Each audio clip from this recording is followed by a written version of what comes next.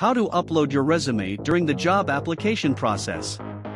To upload a new resume from your computer or mobile device during the job application process. 1. Search for a job.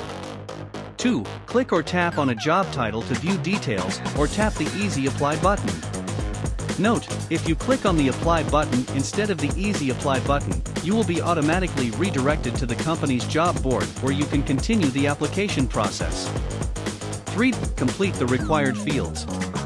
For Under Resume, optional, select Upload Resume to upload your resume. Recommended file size is less than 2 megabytes and the file format has to be either Microsoft Word or PDF. 5. Click or tap Submit Application when finished. That's it. Now you have uploaded your resume to your LinkedIn account for future job applications. Please like and subscribe to my channel and press the bell icon to get new video updates.